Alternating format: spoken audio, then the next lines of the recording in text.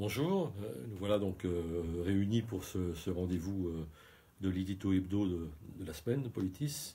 tout de suite, j'attire l'attention de nos lecteurs et de tous ceux qui suivent cet édito vidéo, qui sont de plus en plus nombreux, sur la une du, journal cette semaine, qui est un dossier sur l'indépendance des médias. Hein. on a posé la question comme ça, de façon faussement naïve. Hein. c'est quoi l'indépendance des médias?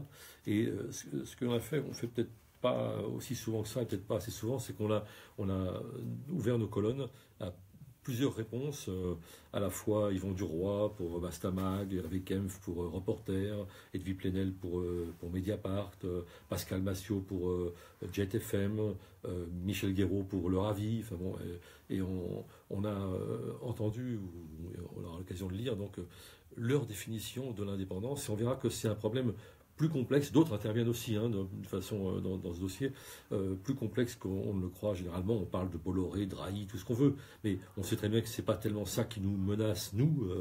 Euh, on ne les aime pas, ils ne nous aiment pas, et tout, tout va bien dans nos relations avec ces gens. Mais en revanche, il y a parfois des problèmes d'indépendance politique, d'autocensure. Enfin, personne n'échappe à ça. Il n'y a pas de, virginité, disons, par rapport à la question de l'indépendance. Et tous nos interlocuteurs là, euh, euh, disons, approfondissent ce, questionnement. Je crois que c'est un, débat tout à fait, euh, tout à fait passionnant. Alors, par ailleurs, moi j'ai traité d'un sujet un peu inhabituel, parce qu'on en parle peu en France en, général, et, peu aussi, il faut bien l'avouer, dans Politis, de l'Arabie saoudite. Et pourtant, c'est un pays extrêmement important parce que euh, c'est à la fois le pays du pétrole, c'est aussi le pays, disons, du wahhabisme, cette doctrine salafiste qui a beaucoup essaimé euh, dans le Maghreb, etc., et qui de loin en loin a euh, inspiré bien des terroristes, même si le lien n'est pas toujours direct, mais enfin, en tout cas, c'est une source d'inspiration. Eh bien, ce pays est possiblement en pleine révolution. Alors, entendons-nous, hein, c'est pas la révolution prolétarienne, hein, c'est une révolution de palais d'abord, mais un peu plus que ça. Euh, avec un, personnage qui s'appelle Mohamed Ben Slimane, qui est Salman, qui est le MBS, comme tous les gens qui aspirent à la notoriété, il a déjà euh, ses initiales, euh, et qui est prince héritier et qui donne un grand coup de pied, disons, dans, dans, le, sable du désert, hein, à la fois en annonçant un pays dorénavant qui serait tolérant, ouvert, modéré, etc., en disant que c'en est fini des extrémistes, on ne va pas encore attendre 30 ans, dit-il, parce qu'il y va carrément, hein, ce personnage, hein. il a 32 ans lui-même. Euh, on ne va pas attendre 30 ans euh, avant de, combattre les, extrémistes.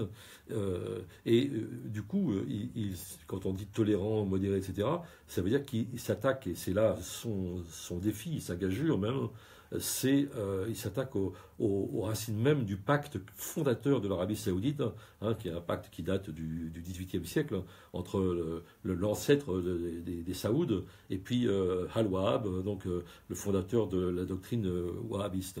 Et cette doctrine qui qui est toujours là aujourd'hui, a assuré pendant trois siècles donc euh, une, fixité, je dirais, à pétrifier littéralement cette, cette société euh, de, conservatisme, de réaction, euh, et on en est là aujourd'hui. Et ça veut dire qu'il s'attaque à ça, en, parlant de tolérance, de modération, etc. Alors les mots ont peut-être pas le même sens pour lui et pour nous, soyons, soyons méfiants, d'autant plus méfiants qu'il va avoir face à lui évidemment beaucoup de gens, mais il ne faut pas non plus être naïf, c'est-à-dire qu'il le fait, euh, pour lui c'est euh, une offensive libérale dans tous les sens du terme. Il s'appuie sans doute sur une jeunesse qui est euh, moderniste, qui n'est pas celle qui ressemble au, régime, hein, mais il le fait aussi dans le sillage des, Américains. Il pense à la société d'après le pétrole, puisque le pétrole, c'est ce qui a scellé, disons, le soutien américain depuis 1945 en particulier à ce régime, et ce qui a fait que les pays occidentaux, les États-Unis en tête, mais la France pas loin derrière, ont, fermé les yeux sur toutes les atteintes aux droits de l'homme, sur les, décapitations, les flagellations, euh, les, attaques aux droits des femmes, etc., euh, depuis au moins la Deuxième Guerre mondiale. Et donc, euh, c'est tout ça qui, est mis en cause, qui serait mis en cause aujourd'hui, mais qui serait mis en cause dans le sillage de Trump. C'est-à-dire qu'il euh, cherche à, séduire, les États-Unis euh, avec d'autres arguments que le pétrole.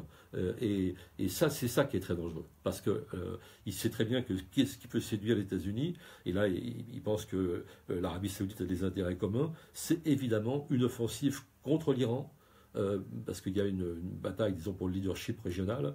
Et, et on dit même qu'il a fait un voyage très discret, voire secret, en Israël, ce personnage. Hein.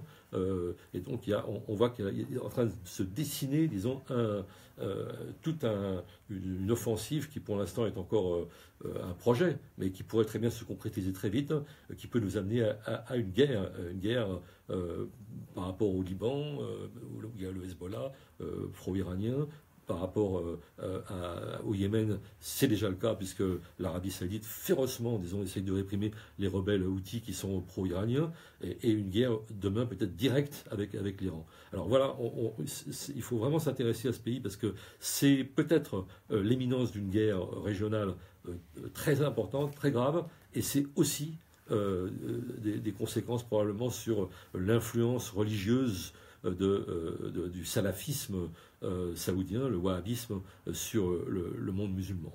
je crois que ça vaut le coup qu'on y regarde de plus près. Voilà. à la semaine prochaine.